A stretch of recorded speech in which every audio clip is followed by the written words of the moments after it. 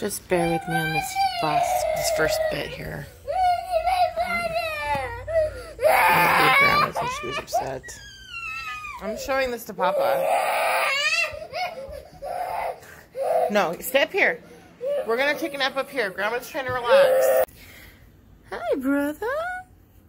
Hi, honey.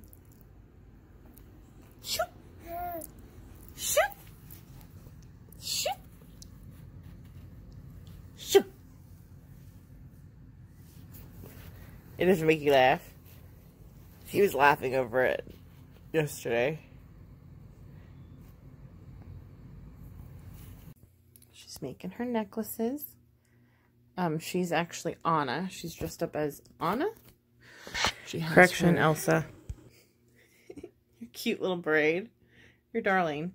And she put stickers all over her crib, so. But um, there's some necklaces she's making.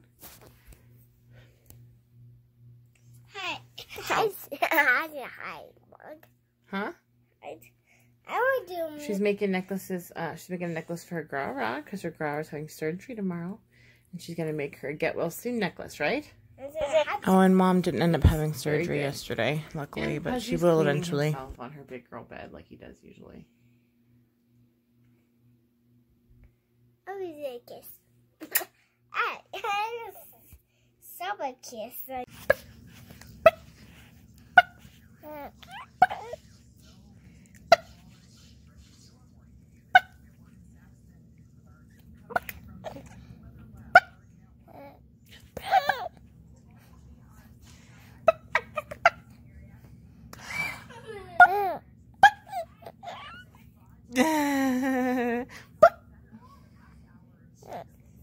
Look at that face.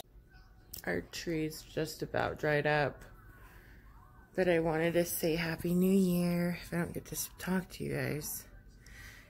Um, he's still gnawing on his hand. He's teething.